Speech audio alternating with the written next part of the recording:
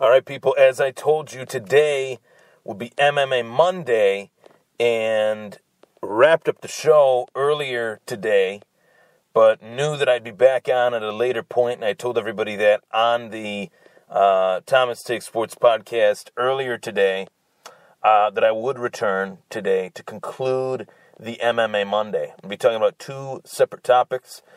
This particular part of the first 15 minutes of today's show um, I want to dedicate to Bellator MMA. Bellator MMA is obviously well known as the second best MMA organization. That's always the tag that Bellator MMA uh, seems to receive over the course of its uh, seven year, um, or actually almost nine year history, I should say um, starting in 2008 with Bjorn Rebney. Now Scott Coker, since 2015, has taken over, and he's in his third year as the president of Bellator MMA, and he has done a fantastic job. I have talked about this on several occasions, but it's not beating a dead horse. It's really not because of the fact that Scott Coker continues to find ways to create attention, bring eyes to his brand, bring eyes to quote unquote the second leading organization in mixed martial arts. I in mixed martial arts, I am a huge uh, mixed martial arts fan. I love the UFC. I love uh, I loved Pride back in the day. I love Bellator. I love Strikeforce. I love the WEC. All organizations of MMA I tune into. I enjoy it, whether it's King of the Cage or anything on the FloGrappling circuit. I enjoy mixed martial arts. So for me as a fan, I'm not pro UFC, I'm pro MMA. And Bellator has really struck a chord with me as a fan, being that I've been a fan for, for a long time. They have signed uh, former UFC greats. They have signed former, you know, UFC big names, guys that might be out of their prime or close to it, or in some cases, guys that are currently in their prime. In the case of Rory MacDonald, Ryan Bader, and Gegard Mousasi, just to name a few, and, and Phil Davis, just to name just to name four fighters right there that defected from the UFC over to Bellator. They've really been able to bring in some big names, bring in some big business, and they made an announcement a few weeks ago, maybe about a week ago, that in January they are starting a eight man heavyweight Grand Prix for the vacant Bellator heavyweight title, which was held at one point in 2014 by a Russian MMA mixed martial artist. I will not even try to pronounce his name, but he has not defended the belt in three years. He's had uh, fight opportunities in other organizations, and Bellator kind of just let it go by the wayside. But Bellator under Scott Coker wants to be taken more seriously, wants to have real champions at each weight class, guys that are that are notable fighters. And when they announced this tournament, the idea for this tournament, I thought that this was brilliant. I thought it was bold and beautiful. And there's a pun there on the soap opera, but Bellator is bold and beautiful. The way they've made the decisions to draw the hardcore MMA fans in, they're a TV ratings business. They've dipped their toes into the proverbial pay-per-view waters, and they've done pretty well. You know, in the in the Rebney era, not not so much, but in the Scott Coker era, Bellator NYC was largely successful for Bellator's realistically first foray into pay-per-view with a solid uh, card and a solid night of fights, a very entertaining night of fights in Madison Square Garden Arena in New York City. That was a big deal for Bellator and for the MMA scene. So Bellator announces that Chael Sonnen, Quinton Rampage Jackson, King Mo Lawal, Ryan Bader, Frank Mir, Fedor Emelianenko, Matt Mitrione, and Roy Nelson would compete in the eight man heavyweight tournament.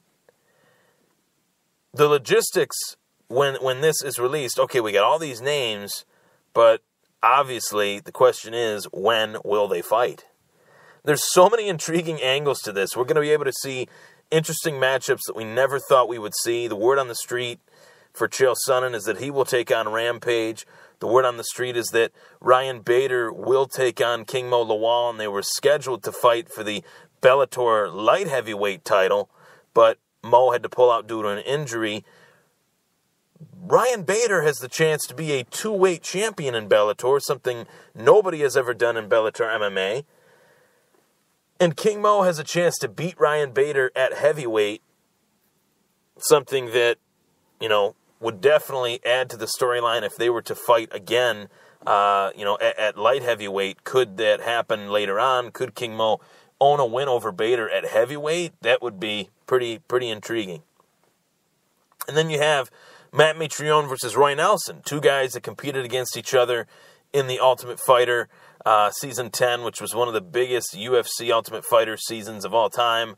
Obviously, head by, headlined by Kimbo Slice, and Roy Nelson won that season. Matt Mitrione was definitely a fan favorite on that season um, as well. So, those are two names that the MMA fans should know.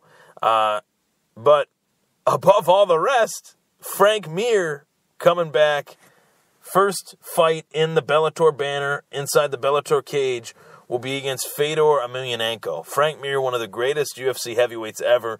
Fedor Emelianenko, one of the greatest heavyweights of all time. Two of the greatest heavyweights of all time going toe to toe. That is a fight that has to really pump up Frank Mir. What an opportunity to take on a guy like the last Emperor Fedor Emelianenko. Finally, you know, even though it's towards the end of his uh, towards the end of his career, that's a, a definite big move. So the word on the street is is that Rampage will fight Chael sometime, actually not sometime, January 20th on that big January 20th card for Bellator. Uh, Douglas Lima will take on uh, Rory MacDonald for the Bellator welterweight title, and then uh, the co-main would be Michael Chandler uh, and his return versus uh, one of the most game submission artists in MMA, and I'm not going to try to botch his name either. Um, but look him up. He he is 18. He owns 18 wins uh, via submission out of his 22 victories inside an MMA cage as a professional. He's the real deal, and realistically, he's one of the tougher fights in the Bellator lightweight division. A, a guy in Michael Chandler that many people consider to be the Bellator lightweight champ. He had that injury versus Brent Primus. Brent Primus will not give him the rematch, and that is why Michael Chandler is where he is at currently. Um, and then obviously, Chael Sonnen versus Quinton Rampage Jackson. Two of the best trash talkers in their own way. Sonnen comes at you with some knowledge, some some kind of wrestling shtick, and Quinton Rampage Jackson just likes to make somebody feel as if they're they're a fool. Really, I have always always wanted to see that fight, dating back to you know Sonnen's foray into the light heavyweight division uh, post his loss to Anderson Silva, he really started calling out a lot of the light heavyweights, Quinton Rampage Jackson included. Um, I'd really love to see the promotion for that. That would be very fun. Quinton Rampage Jackson is one of the best trash talkers. Chael is one of the best trash talkers. That that that would be fun. But Rampage is stating that he doesn't want to go up against a wrestler.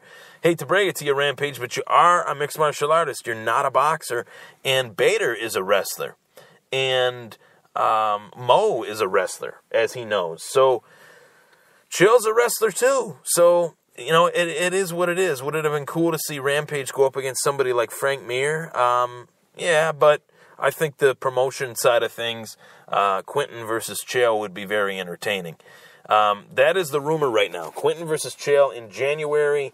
Uh, in February, it would be Roy Nelson versus Matt Mitrione. In March, it would be uh, Ryan Bader fighting King Mo Lawal, and then in April, the most obvious would be Fedor fighting Frank Mir. And the reason why I say it's the most obvious, Frank Mir is due to come back from his suspension in April. So he's going to want to get in there, you know, as soon as possible. Just because he's suspended doesn't mean he can't train. So really, uh, it, it, works out for the better, to be honest, that he's in Bellator, that he is coming off a suspension, but when he returns, he'll be taking on the biggest heavyweight name uh, that the sport has has ever seen.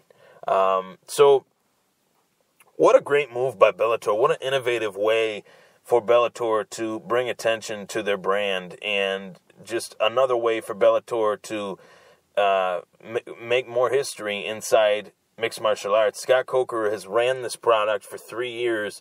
And they've done they've done quite a lot in three years. They're definitely a force to be reckoned with. They've definitely poached talent from the UFC onto their roster. Will they ever be as big as the UFC? Probably not, but they're definitely an organization that is worth uh, tuning in for. They're definitely an organization that's worth turning your TV on and seeing who's fighting on national TV. I like the national TV feel. I like that they're opening up with the Paramount Network, which is what Spike is switching to. They're they're opening up to that in January on January 20th on this large, massive mega card.